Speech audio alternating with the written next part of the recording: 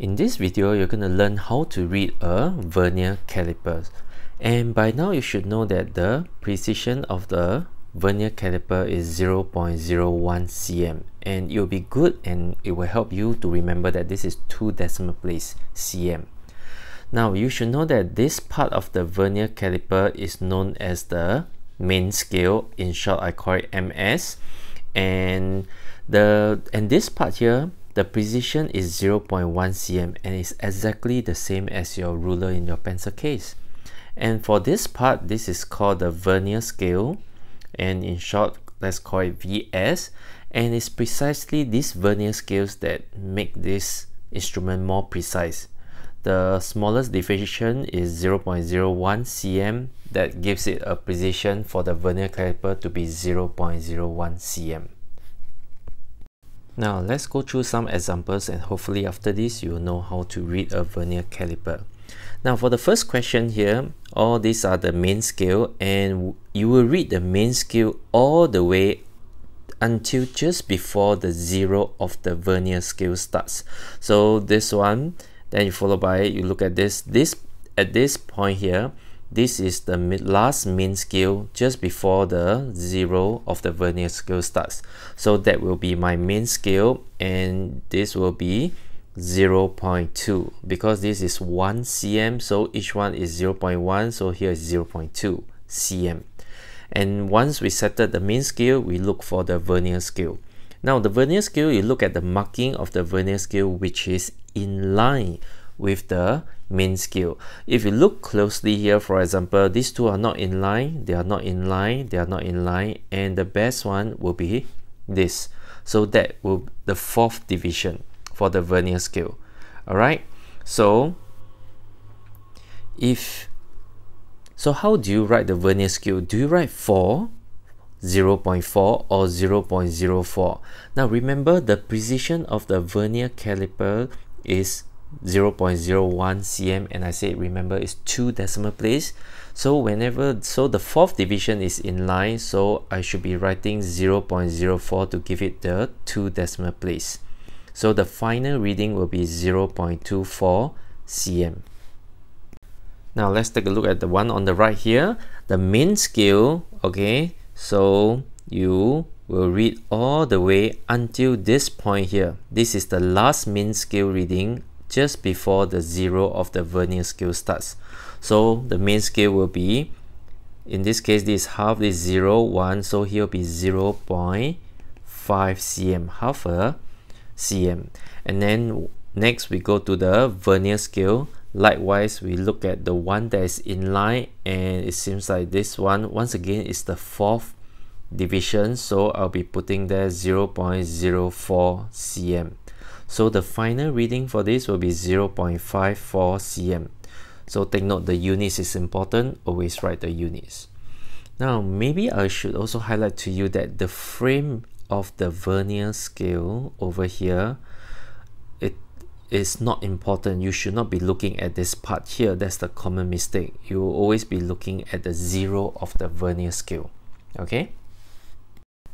Next example, the main scale over here because the zero of the vernier scale starts here so the main scale the last one will be here and that will be 0.9 cm. So I write here 0.9 cm. Next let's go to the vernier scale and it's very clear that the 8 division here is the one that's in line. So my vernier scale will be 0.08 two decimal place. Remind yourself so the final reading will be 0.98 cm uh, by the way this zero here some vernier caliper they put their tenth okay so just be mindful of that. Next example here. The last main scale just before the zero of the vernier scale starts it will be until here. So that will be 1 1.1 1.2 1.3 so the main scale will be 1.3 cm and the vernier scale. For this case um, it may not be clear but to your best judgment maybe the one the sixth division is the one that is in line. So I'll write here 0 0.06 cm so it gives a final reading of 1.36 cm Next example here.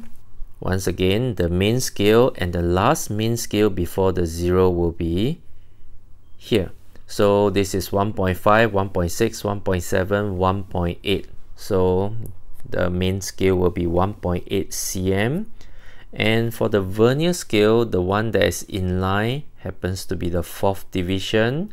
So I'll write 0.04, two decimal place, and it gives a final reading of 1.84 cm.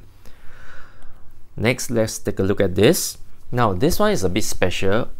If you look at this, the last main scale, okay, the zero vernier scale, it starts here and it seems to be in line with the main scale marking. If that's the case, you have to read this main scale. In this case, this is 0.6. So the main scale is 0.6 cm. Now when that happens, if the zero of the vernier scale is in line with a marking here, in this case 0.6 cm, you will realize that the last division of the main vernier scale, which is the 10th division here, it will also be aligned. And this means that the thing that you're going to measure over here is exactly 0.6 but you still need to take into account the vernier scale because this is a vernier caliper and when such scenario happens the vernier scale will be 0.00 cm. That's why the final reading will be 0.60 cm. Now it is important that if you are using a vernier caliper the precision is two decimal place so you need to put the zero behind.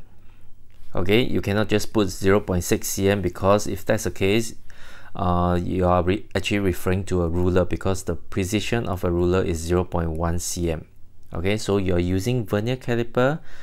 Even though it's 0.6 you still have to put the zero. Just be careful about that. Now last two example here. Let's take a look here. So once again the zero and the main scale is in line. So the main scale for this case will be 1.1 cm.